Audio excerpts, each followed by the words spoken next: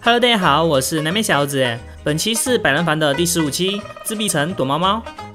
规则很简单，由一号队伍的四名玩家为持枪者，其余二十三名玩家为逃跑者。整局游戏不能离开地图的红圈区域，只刷新霰弹枪和医疗用品。视频开始之前，大家可以先猜测一下，最后是哪一方获得胜利。毕竟自闭城能躲的地方还真没多少。为了平衡，这把我还把脚步提示给关了。说起来，这三倍霰弹枪确实会比十字弩的刷新率高。持枪者一落地，看到的满地都是枪。可以，下一场的首杀已经拿下。这个时候还有人刚落地。没多久，三名持枪者开始选择抱团守人。等等，这里好像发现什么了。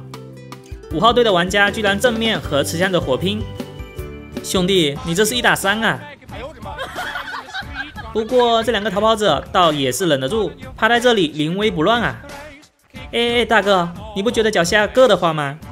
这么明显的隐藏点你都没看到吗？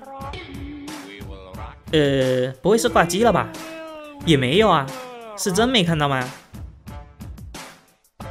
哎呦我去！好吧，好像是真没看到。再看看其他的逃跑者，可以的。大仓顶部有四名玩家藏在上面，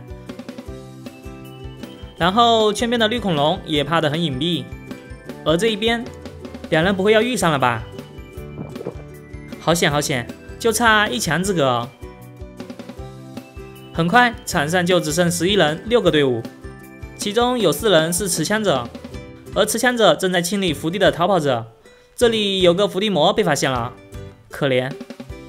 这个三号队伍的玩家一整局我都很佩服他，不找地方待着，专门听音辨位逃跑，而且还跑到了最后。